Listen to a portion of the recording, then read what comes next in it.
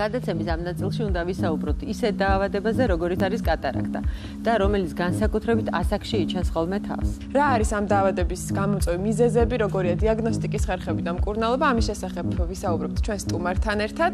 New Hospital-ის ოფთალმოლოგიის ეროვნული ცენტრის წამყვანი ოფთალმოლოგი, ოფთალმოქირურგი ბატონი გრიგოლ ქამუშაძე არის ჩვენი სტუმარი და მოგესალმებით. ალბათ პირველ რიგში დავიწყოთ განმარტებით ზოგადად რა არის კატარაქტა. კატარაქტა. კატარაქტა ის გახლავთ თვალში არსებული ბუნებრივი ბროლის სრული ან ნაწილობრივი შემღრევა. აა კატარაქტის რამოდენიმე ტიპი არსებობს. უმეტესად ხდება ჩვენ ასაკობრივი ან მოხუცებულობითი კატარაქტა, რომელიც ვითარდება უფრო მეტად 60 წელსზევით, არსებობს იშვიათი შემთხვევები 50-დან 60 წლამდე. აი ჩვენ ხედავთ ეხა თვალის მექანიზმს, რას უშლის ეს ყველაფერი ხელს, შემემღრა თქვა ბროლი. რა აგვიხსნათ? ანუ თვალს გააჩნია თვალის ოპტიკური ნაწილი, რომელშიც ჩვენ გულისხმობთ რქოვანას, ას გამჭირველი ნაწილი და შემდგომ უკვე გუგის უკან ბროლი. ოპტიკური ნაწილის დაზიანება, ბროლის შემღრევა, გამოსახულება უნდა გაიაროს რქოვანაში, შემდგომ გაიაროს ბროლში და მოხდეს ბადურაზე. ბადურა აღიქვევს გამოსახულებას და მხედველობის ნერვის საშუალებით აწვის უკვე თავისთვის, თავის ტვინში არსებულ ეპიცილში არსებულ მხედველობის ცენს ინფორმაციას თუ რას ხედავს თვალი. ზუსტად იმ გამოსახულების ბლოკირება ხდება შემღრეული ბროლის გამო, როდესაც ბროლი იმღრევა და თავის გამჭირვალობას კარგავს და ვეღარ მიდის ბადურამდე ის გამოსახულება, რაც უნდა მივიდეს. კაფეო გამოსახულება. გამოსახულება მიდის უკვე ბუნდოვანი და არა მკაფიო. და რა შეიძლება იყოს ამის გამომწვევი მიზეზი? იმიტომ რომ თქვათ ახსენეთ ასაკი და თუ არსებობს კიდევ ასაკზე არადამოკიდებული ესეთი დაავადება. კი ბატონო, რა თქმა უნდა, არსებობს მეტაბოლური ტიპის კატარაქტები, არსებობს საკუნო წარმოსაშველებით მიერ გამოწვეული მაგალითად დიაბეტის შემთხვევაში ეს არის სორბიტოლი მკვრივი შაქრის ალკოჰოლის დაგროვების შედეგად ხდება კატარაქტის განვითარება, ტრამბული კატარაქტა, რომელსაც სულ თავისი შეხედულება აქვს, ესეთი ვარსკვლავისებური ფორმა აქვს. არსებობს თანდაყოლილი კატარაქტა. თანდაყოლილი კატარაქტები სხვადასხვა ტიპის გენების მუტაციის შედეგად განვითარებული ემბრიოგენის პერიოდში. რის ფაქტორები, რომელსაც ახლა ჩამოვთვლით, ასაკი, გასაკვირველია როგორც ის ფაქტორი, წალსულში თვალის დაზიანება, ანთებითი პროცესი, დიაბეტი, მწვერვალობა, ჭარბიწონა, მაღალი წნევა, დიდი რაოდენობით ალკოჰოლის მიღება, კორტიკოსტეროიდული, ანუ ჰორმონალური მედიკამენტები, ესე რომ ვთქვათ, და წარსულში თვალის ოპერაცია. საძლებელია თუ არა რაღაცა პირველადი სიგნალით, სიმპტომით ამოცნობა ამ დაავადების და ვთქვათ, წინ აღუდგეს გარკვეულწილად მკურნალობა, ან არ მოხდეს ამ დაავადების პროგრესირება, თუ აუცილებლად პაციენტი მიდის მაინც ქირურგიულ ნორმალურ ჩარევამდე. პირველ რიგში სიმპტომატიკა ახასიათებს ესეთი ამდაავადებას, ოდესაც ხდება გამოსახულების გაბუნდოვნება, გაორება, მზეზე გამოსვლის დისკომფორტი. სამწუხაროდ დღეს დღეისობით არ არსებობს არანაირი სამკურნალო მეთოდი, ასე ვთქვათ, რომელიც მხოლოდ მხოლოდ ქირურგიულია, მკურნალობის მეთოდი მხოლოდ მხოლოდ ქირურგიულია. ქირურგია მოიცავს და გულისხმობს შემოღრეული ბროლის ამოღებას და მის მაგივრად გამჭირვალე ხელოვნური ბროლის იმპლანტირებას. ანუ თუ დაიწყო ეს პროცესი, მას ვერ ვაჩერებთ. მას ვერ ვაჩერებთ.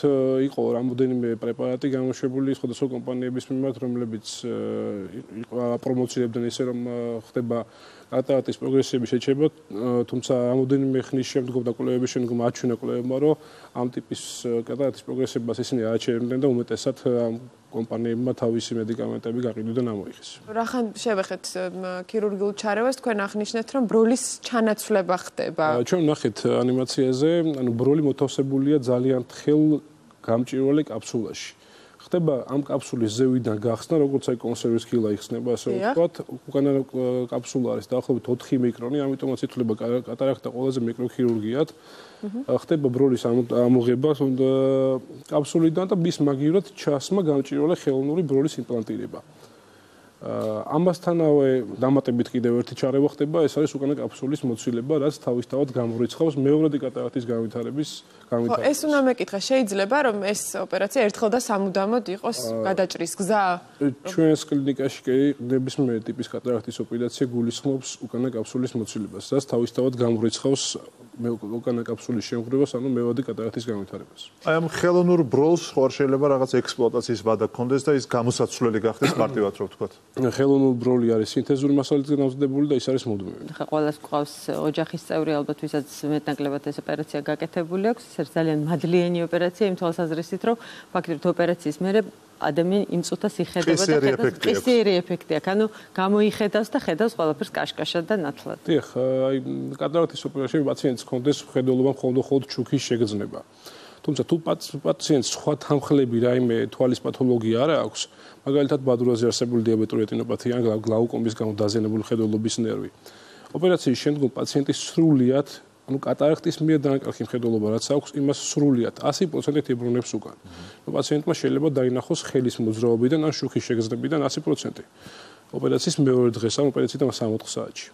და რამდენად არის ხელმისაწვდომი ყველასთვის ეს ოპერაცია საქართველოს? ორი სიტყვით ვიტყვი ასევე რომ კატარაქტის ოპერაცია გახლავთ ამბულატორიული პაციენტი თვითონ სტაციონარში ოპერაცია არ რჩება. არ რჩება პაციენტის ოპერაციის ხანგრძლივობა დაახლოებით 5 წუთია და არ საჭიროებს ზოგად გაუტკივარება. არ საჭიროებს ზოგად გაუტკივარებას გააჩნია კატარაქტის სირთულეს 90% შემთხვევაში კატარაქტის ოპერაცია კეთდება მხოლოდ და მხოლოდ ანალგეზით ანალგეზიის მიღწევა ხდება წვეთების საშუალებით და ოპერაციიდან თვალღია არაფერი და ნახოვი არაფერი არ აქვს პაციენტს მიდის ეგრევე სახში 5 წუთში გააჩნია პოსტოპერატიული პაციენტის სიმძიმესაც. ნუ შეიძლება სხვა სხვა რაიმე თანხლები გულსიზოღთა პათოლოგია რამე თუ აქვს მაშინ დაუტოვებთ ცოტა ხანი და ესე გავუშვით დაახლოებით 10 წუთში ტოვებს კლინიკას. და ხელმისაწვდომობა ჩვენს ქვეყანაში ამ ოპერაციისად. საყოველთაო ჯანაცვის პროგრამა. პენსიონერთა ასაკში უმეტეს შემთხვევაში აფინანსებს პაციენტ ოპერაციის ღირებულების 90%-ს და რაღაც მცირე თანხის დამატება უწევს პაციენტს ზოგ შემთხვევაში საერთოდ არ უწევს. და მაინც რო ვთქვათ, აი თვითონ აპარატურულ მზაობას და ვთქვათ ტექნიკურ მხარდაჭერას თუ აქვს თანამედროვე კატარაქტის ოპერაციაში რაიმე მნიშვნელობა თუ არ განსხვავდება აქ სერიოზული ასე ვთქვათ ბროლის ხარისხზე უფრო მიბული და არა ვთქვათ ოპერაციის ტექნიკა. პრეოპერაციული კვლევები პირდაპირ კავშირშია პოსტოპერაციულ მაღალ ხედულობასთან. ანუ თუ ბროლი რაც არ უნდა კარგი იყოს, თუ ბროლის სწორად არ არის გამოთვლილი, პაციენტს ვერ ექნება კარგი მხედველობა. თუ პოსტოპერაციულად მას დარჩა ან პლუსი, ან მინუსი, ან ასტიგმატიზმი.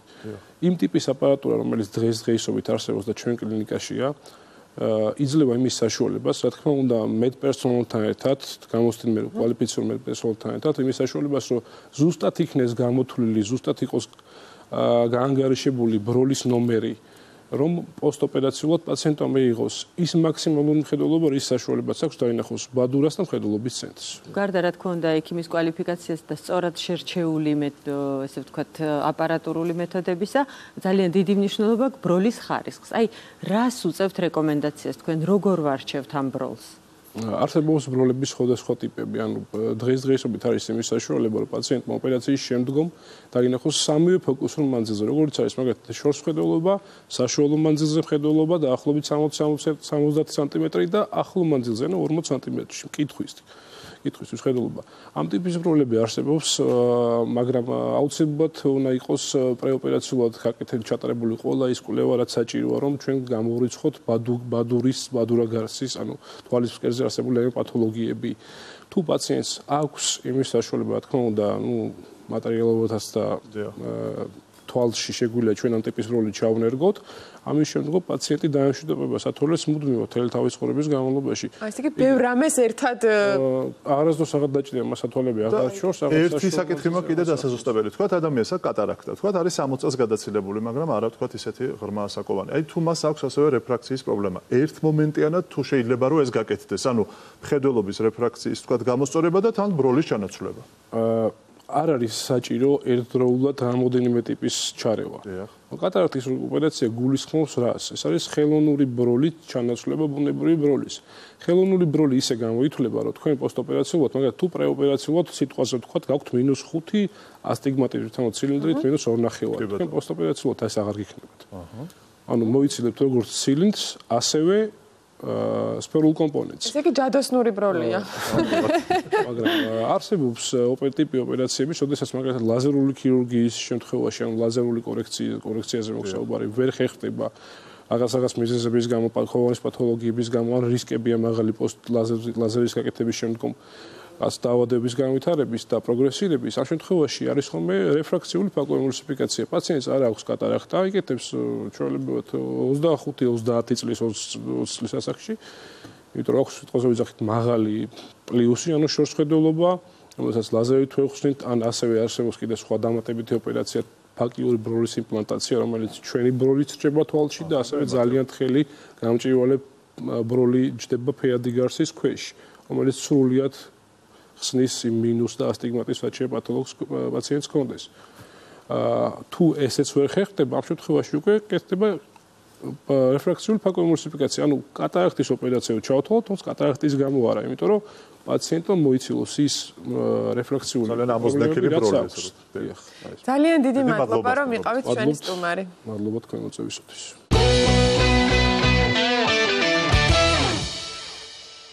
ასეთი იყო თქვენი კლინიკა. დღეს მე შეგახსენებთ რომ თქვენთვის საინტერესო სამედიცინო თემების შესახებ შეგიძლიათ